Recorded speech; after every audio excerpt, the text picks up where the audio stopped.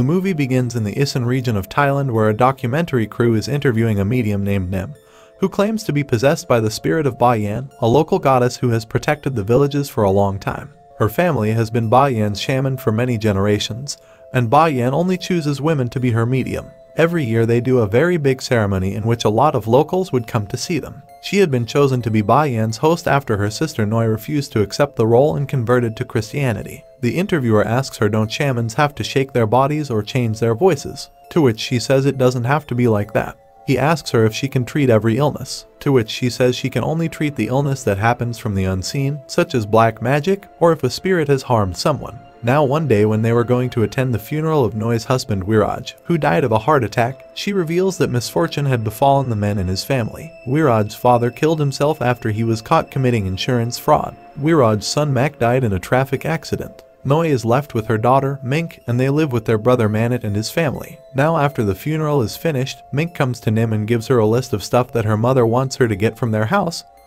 But after she leaves, Nim feels something strange. After some time, Nim brings all the items and gives it to Noi, and only then she sees that Mink is abusing a man and threatening him to leave. Seeing this, her family tries to calm her down and bring her aside, and Nim finds it quite strange. That night, Nim notices that Mink is staring at a blind old woman, and that woman is also watching her. Now the next day during the burial ceremony of Wiraj, Nim comes to know that that blind old woman is dead and no one knows how she died. Only then her attention turns towards Mink standing in the crowd, who looks at her and leaves there. Nim follows her and sees that she is standing outside a room and behaving strangely. Later, she goes to Mink's room and starts looking for something and Neil asks her what she is looking for. She finds an amulet made of turmeric in Mink's wardrobe and at the same time, Mink also enters the room. She asks them to leave there but Nim asks her if she has nightmares and hears strange sounds. However, she pushes them out of her room. She then tells the interviewer that it was turmeric called Pataba, and they believe that it can protect them from spirits and other evil things. The interviewer then asks Mink why she put the Pataba in her room,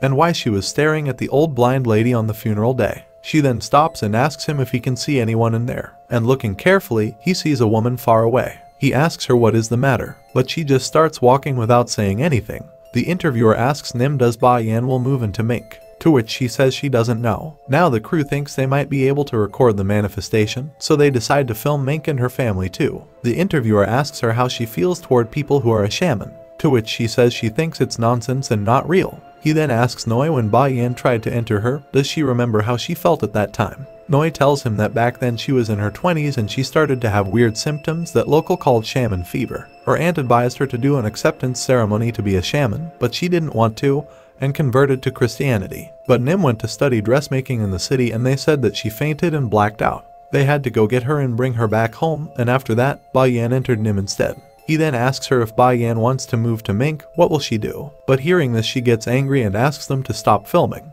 Here Mink goes to the town dressing room to dress up for the town celebration, and she looks in the mirror. Mink notices a pair of children's shoes that she put on despite being undersized for her, but she enjoys wearing them. Later that night, the interviewer asks Mink's best friend Lisa if she noticed Mink acting strange lately, to which she says she feels she is faking or something like she is not her real self. She even shows a video as proof, where they were at the mall and Mink acted childish, like riding a children's machine, and even pushing kids who got close to her. The cameraman then follows Mink when she goes inside her workplace and sleeps on the bench. The following day, her office mates finds her sleeping inside the office, so her co-worker wakes her up and instructs her to clean herself for work. Mink notices a man staring at her as she stands, especially at her smelly lower body, so she looks down and finds herself bleeding uncontrollably between her legs. She immediately runs to the restroom and frantically cleans the blood from her legs. Now when she goes home, Noi asks her what happened to her, to which she says it's just her period. She tries to talk to her and asks her how long has this been happening, but she locks herself in her room.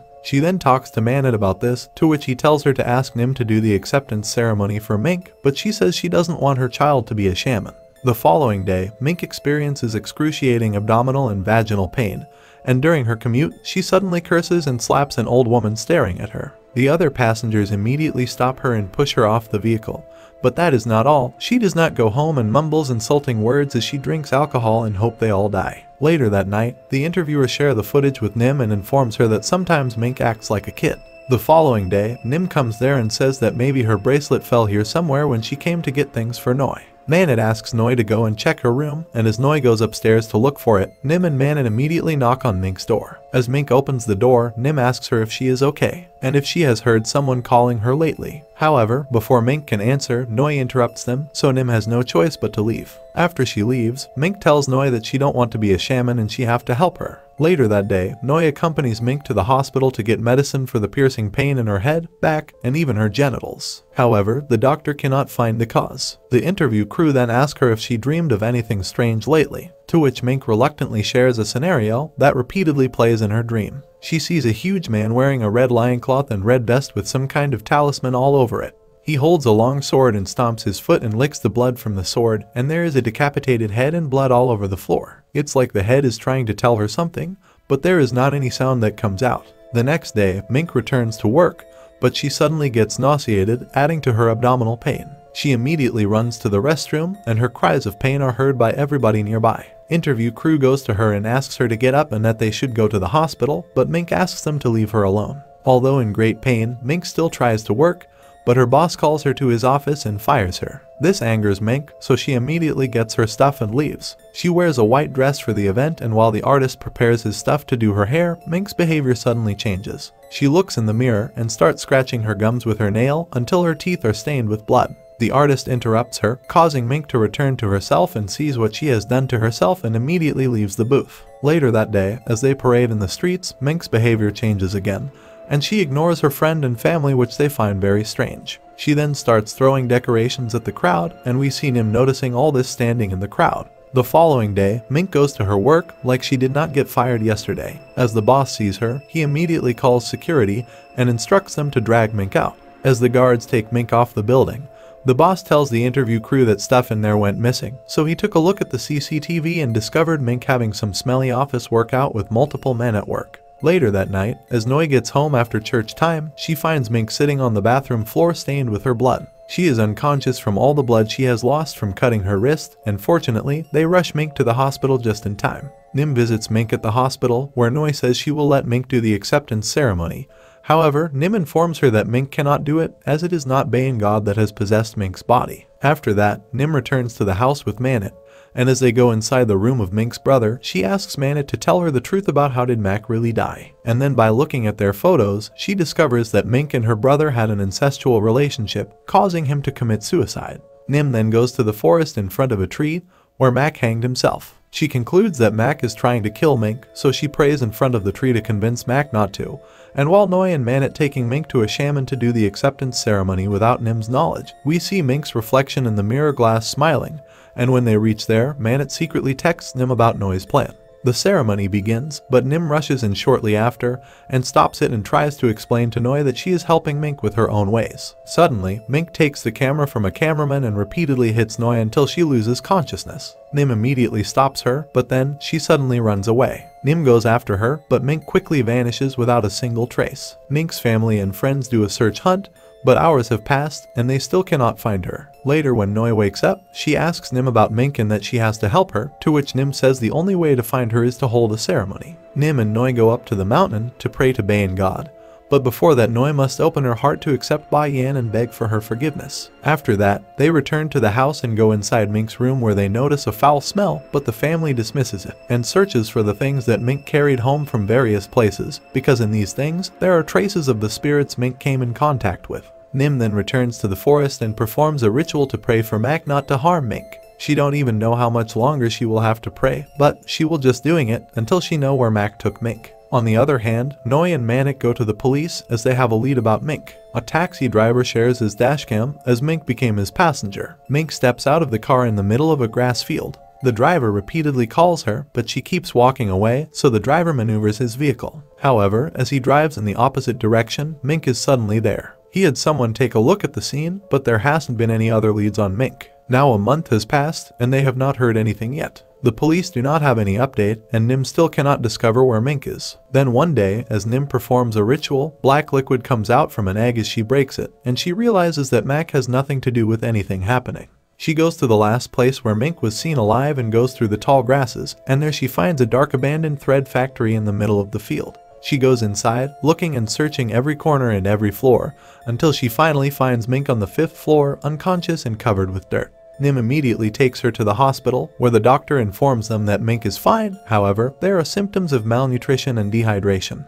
The next day, Nim goes up to the mountains to make a sacrifice, only to be mortified as she discovers that someone has beheaded the Bayan statue, a mockery sign to the sacred idol. On the other hand, Mink has been discharged from the hospital, but she looks completely possessed. She suddenly becomes aggressive when Nim visits her and growls like an animal. She taunts Nim to guess who she is, and then Mink suddenly rips off her shirt. She then gets sexually aggressive, forcing sexual advancement on Manit. Nim and Noi immediately hold her, and Nim cites a prayer on her, and Mink reveals that the reason Nim became a shaman is because of her beloved sister. She planned to get her to wear her clothes every day, and had put talisman in her shoes. Nim then makes her vomit a black liquid, however, it only angers the possessor, so Nim asks to tie Mink on the bed.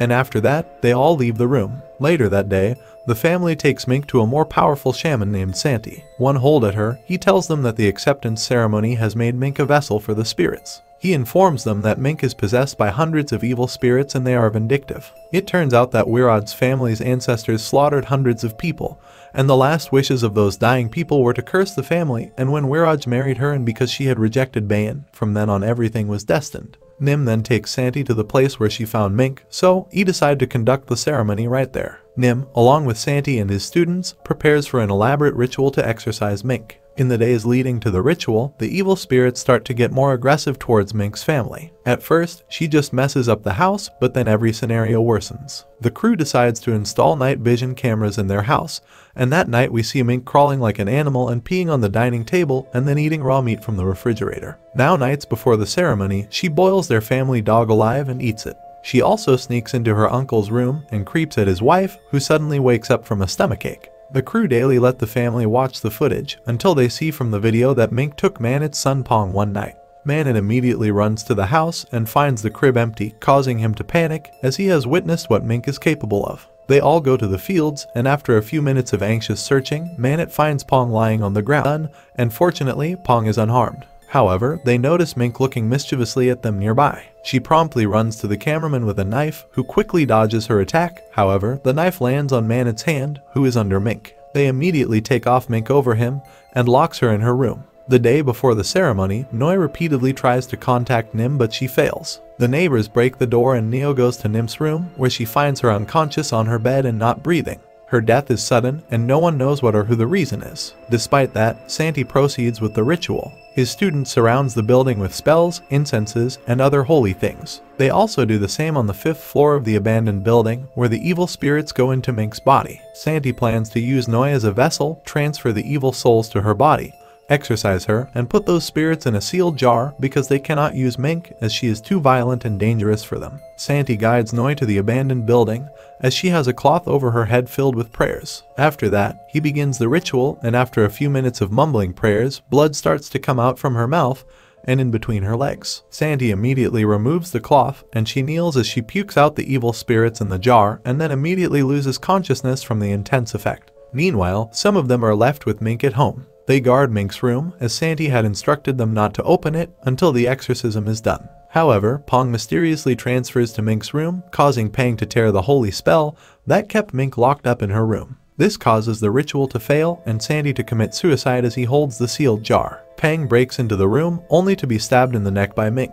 The cameraman and the student immediately attempt to leave, but Mink stops them. The cameraman quickly runs upstairs and hides as he hears Mink kill the student.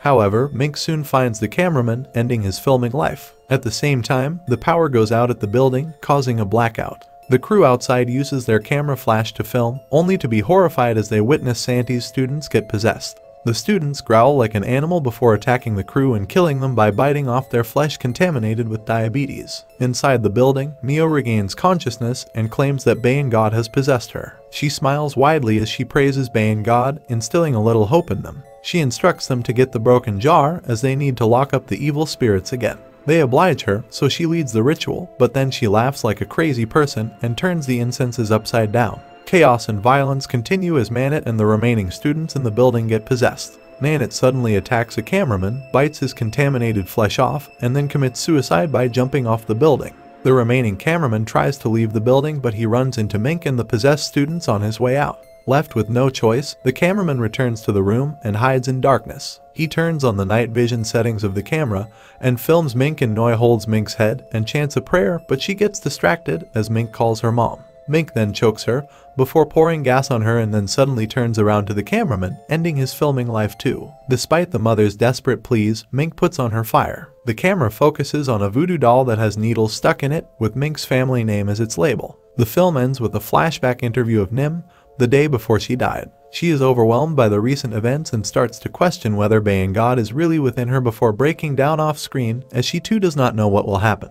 This implies that the family's weakening faith in God is taken advantage of by the haunting spirits and hence comes the slaughter. Thanks for watching. I hope you found it enjoyable. If you did, please don't forget to hit the like button and subscribe to my channel for more recap